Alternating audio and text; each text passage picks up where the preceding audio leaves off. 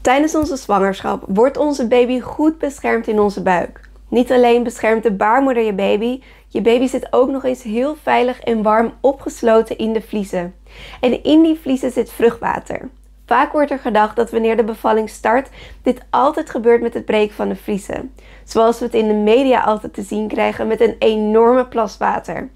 Echter begint slechts 10% van de bevallingen met het breken van de vliezen en meestal is dit ook geen hele plas, maar vaak een paar druppeltjes. In deze video ga ik het met jou hebben over jouw vliezen. Wat gebeurt er als ze breken en wat gebeurt er als je na een aantal dagen opeens geen vruchtwater meer verliest? Kan dat? Moet je dan ingeleid worden? Ja of nee? Blijf vooral kijken. Mijn naam is Pleunie en ik werk als doula en geboortecoach. En het is mijn passie om vrouwen alles te leren over de bevalling, zodat zij vanuit vertrouwen, rust en liefde hun baby kunnen baren. Ben je nou nieuw op mijn kanaal of heb je het nog niet gedaan? Vergeet je dan niet te abonneren, want dit support ontzettend mijn kanaal. Maar op die manier zul je ook mijn toekomstige video's niet missen. Zoals ik net al zei, zit jouw baby op dit moment in jouw buik in vliezen. Deze vliezen bevatten vruchtwater, waar je baby veilig in ronddobbert. Deze vliezen en het vruchtwater hebben tijdens de zwangerschap hele mooie functies.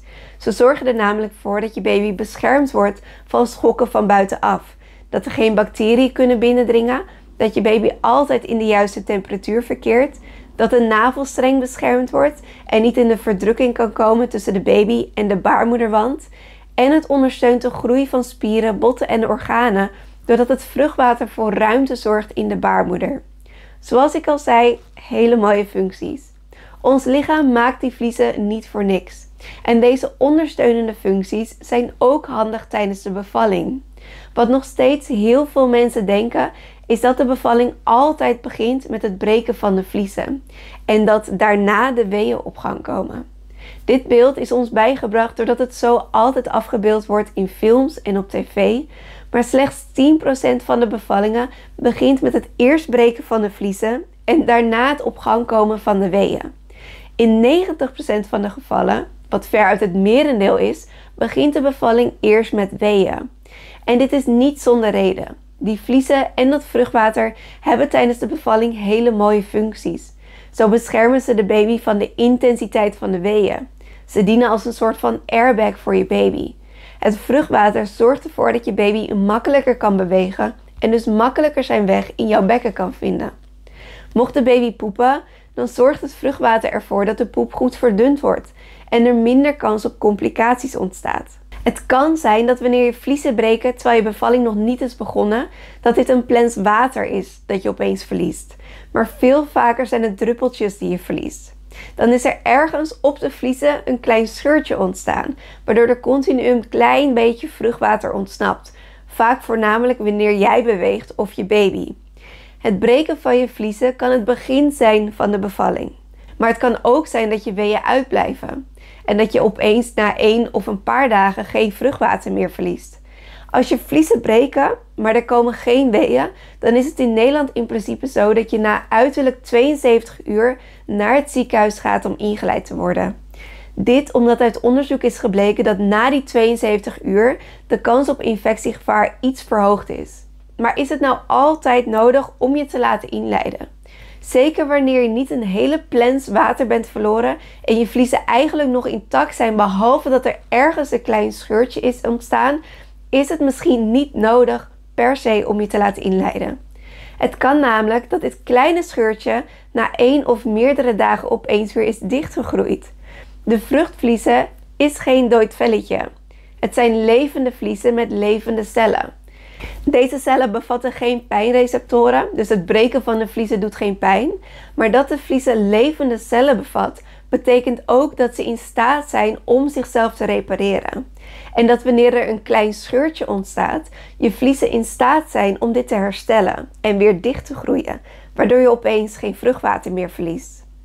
Als je het idee hebt dat je vliezen zijn gebroken of je twijfelt omdat het slechts druppeltjes zijn, dan is het altijd verstandig om je verloskundige hiervan op de hoogte te stellen.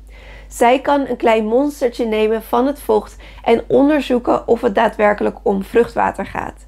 Meestal bespreekt ze daarna met jou de volgende stappen die genomen kunnen worden. Over het algemeen zullen ze afwachten en hopen dat je weeën uit zichzelf op gang komen. Misschien dat je eens naar het ziekenhuis moet voor een extra controle van de baby. Maar over het algemeen krijg je die 72 uur om af te wachten op die natuurlijke weeën. Heb je nou het idee dat je de volgende dag geen vruchtwater meer verliest en dat je vliezen misschien wel weer zijn hersteld? Dan zou je opnieuw door je verloskundige een monster kunnen laten afnemen.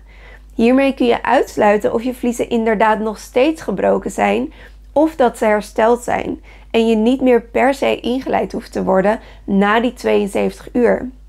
Het kan wel zijn dat je baby en jij een iets verhoogd risico hebben op een infectie vanwege de tijdelijk gebroken vliezen en daardoor kunnen extra controles verstandig zijn, zoals het meten van jouw temperatuur. Een verhoogde temperatuur kan een indicatie zijn van een infectie. Het kan ook fijn zijn om naar de harttonen van de baby te luisteren. Een verhoogde of verlaagde hartslag van de baby kan erop wijzen dat er iets aan de hand is, waardoor de baby het niet meer helemaal fijn heeft en veilig is in je buik. Over het algemeen is deze kans heel erg klein en zal dit niet het geval zijn. De kans op infectie is zeer klein, zeker wanneer de vliezen maar tijdelijk een heel klein scheurtje hebben gehad. Er zijn veel vrouwen die enorm gestrest kunnen raken van het idee dat de weeën niet op gang komen en hun inleiding te wachten staat binnen een aantal uur. Weet dat zolang jij gezond bent en de baby gezond is en je vliezen weer hersteld lijken te zijn, het misschien niet nodig is om direct in te leiden. En je misschien nog wel een aantal dagen extra kunt afwachten tot je bevalling natuurlijk op gang komt. Ben je benieuwd welke vragen je aan je zorgverlener kunt stellen om er zeker van te zijn dat jij de juiste keuze maakt voor jezelf en je baby? Bekijk dan de video die ik hierboven zal linken. Ik hoop dat ik je weer iets nieuws heb mogen leren en je nog meer vertrouwen hebt kunnen geven in je lichaam en jouw keuzes die je voor jezelf en je baby mag maken. Vergeet deze video niet een like te geven en ik zie je heel graag terug in een van mijn volgende video's. Bye!